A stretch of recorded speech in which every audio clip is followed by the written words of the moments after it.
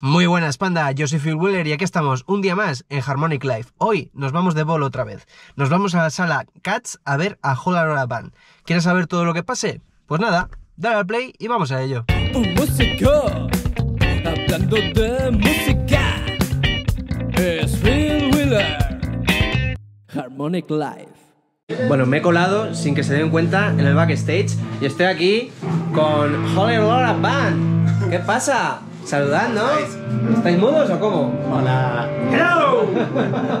¿Qué tal? ¿Qué, no- qué nos podéis decir de la prueba de sonido? ¿Qué tal ha ido? Ha ido fantástica, tío. Pues muy bien. Por, por mi parte, fantástica. Sí, sí, sí, muy bien. Lo que sucede es que, bueno, mm, como todo, siempre hay algo que tienes que mirar por el tipo de sala y lo que sea, pero de puta madre. La verdad que. ¿Sí? Muy bueno. ¿Qué tal en la sala? Ya habíais estado antes, ¿no? No, la primera ¿No? vez. ¿Es la primera vez? Ah, qué guay, vale, vale, vale. Es que he visto en Instagram que el año pasado se llenó, pero no era en esta sala. No, Hace dos años y medio, tío. Ah, En- bueno, en claro. la sala va Hola, Hola, ¿qué tal? Saluda que no has saludado antes. Hola, ¿qué tal? Pues nada, eh, ¿cuánto nos espera de concierto, más o menos? cuatro horas y media. ¿Sí? Poco me parece, ¿no? No, en realidad serán unas eh, dos horitas máximo. Máximo. En realidad lo podríamos estirar lo que quisiéramos. Claro, todo depende del guitarrista. Que toque el solo que toque el. vale, vale, vale. Mucha, mucha improvisación me da a mí que vamos a ver, No, ¿no? está, está todo, está todo pagado. ¿Qué tipo de temas nos vamos a encontrar? ¿Todos los clásicos? ¿O nos vamos a encontrar alguna sorpresa? Alguna, claro que sí. ¿Nos encontraremos a Moby Dick? ¿Eh? ¿No? Seguro. Seguro. Bueno, estoy aquí con... Bueno, vaya luz tengo aquí encima, pero bueno, estoy aquí con Titi que nos va a explicar un poco lo que lleva para ese sonido Boham, ¿no?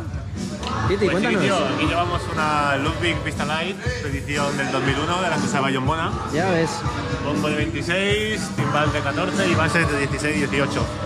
La caja también es una Supra, esta sí que es original del 73. Y después llevo, bueno, los platos y el, y el son UFIP, trabajo con, con esta marca de platos. Y el Charles no, lo siento. pero es, una- Le perdonaremos. es un País 2002 Black Label de los que usaba Bona también del 70 y pico. Y nada, después de aquí unas paquetillas Valvex, que también trabajo con ellas. Y lo demás es darle, vaya. ¿Rompen muchas baquetas tocando los Zeppelin o qué? No, creo que tengo la suerte de tener buena técnica y no rompo mucho. Y además esta, esta dura mucho. eh. Estudiad, cabrones, estudiad. Esta dura mucho, eh, son las mejores, no porque sean las que usan yo. Cuéntanos, ¿qué llevas para imitar al Grand Page? Pues llevo todo lo que durante estos años he ido pudiendo. Al principio tenía menos cosas, pero ahora, gracias a que llevamos bastantes años y gracias a las marcas que nos sponsorizan, pues la verdad que estoy súper contento con el equipo que tengo actualmente. Aquí tengo primero un Food de Don Pony, un Guagua de General, el Solodals TSR, un clon de General y un H9 para los efectos. Ah, qué guay. Luego tengo el inalámbrico, pero el inalámbrico solamente me lo pondré en una canción. El resto lo hago con el cable. Ah, vale, vale. Y ya está, de efectos. Prefieres el sonido del cable entonces, ¿no? Mucho más, sí. Se queda una cosa muy fina cuando se lo quitas. Llevas- Por, por muy guay que sea el inalámbrico, tío, no. ¿Llevas algún tipo de cable en especial? ¿Alguna marca? No, no. Los cables normales. Los que te molen, ¿no? Y ya está. Guay. Y de guitarras, vemos que tienes ahí la Telecaster. La General. Que esta es de mi hija. Y Ali, mi pareja, le pintó esto tan chulo. Qué guay. Estoy súper contento de cómo le quedó. Ya ves. La Les Paul, todo con las Correa Rayton. Este es tu modelo Signature, ¿verdad? Ese sí. Que está... Disponible y a la venta. La Red Electro.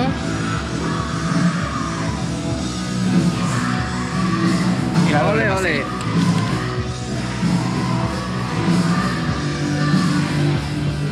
¿Qué tal? ¿Cómo es la experiencia de tocar un, un doble mástil? Está guay. Lo que si pudiera, ojalá que Servo y tu jefe la pudiera tocar con una guitarra más cómoda, porque la espalda sufre mucho. Sí. Es, Para, para que veáis, panda, que esta gente se le ocurra, ¿eh? A tope siempre. Claro que sí, claro que sí. Bueno, pues vamos a ver qué tal se da el concierto. No voy a engañar a los demás músicos para que nos enseñen cosas porque están ya preparando. Espero que lo disfrutéis mucho y muchas gracias por venir. Nada, a vosotros por invitarme. ¡Hala! A ver qué tal se da. Bueno chicos, estoy aquí con Carmen, ¿Qué pasa? que se ha venido conmigo al bolo. Ya hemos estado ahí dentro, que Carmen no ha podido venir antes. y hemos estado hablando con la banda, hemos visto el equipo, pues ahora vamos a verlos. Así que nada, a ver qué tal se da. rock and roll.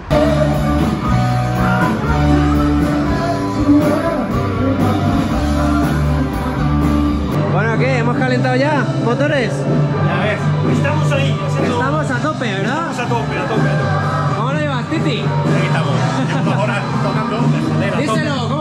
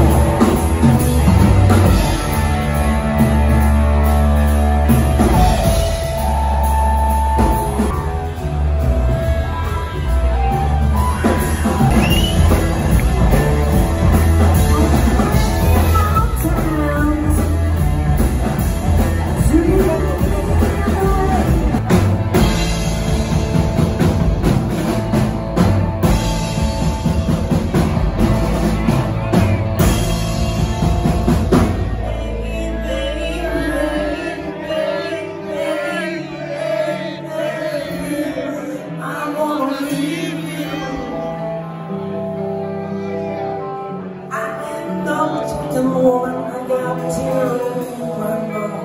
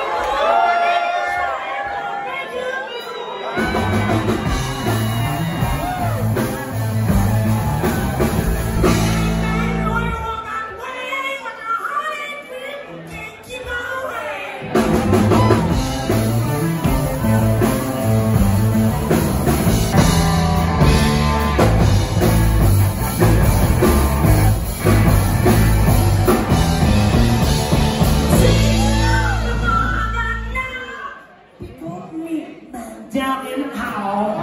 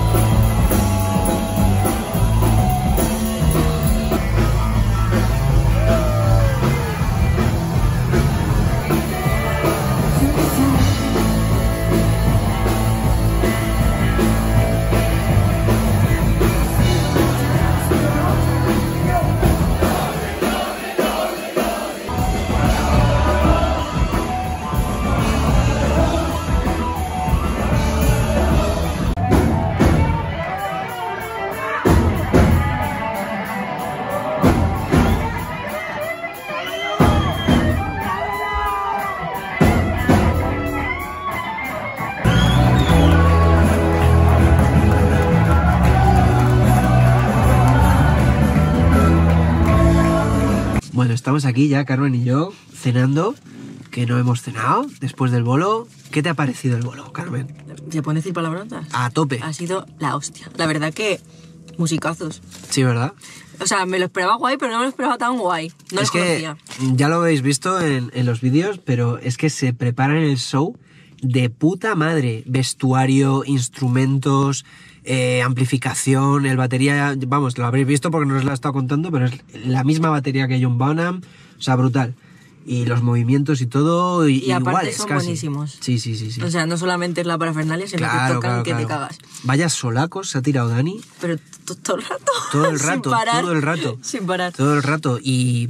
Pero a- e- él nos contaba en Rock and Chat porque le entrevistamos y nos decía que.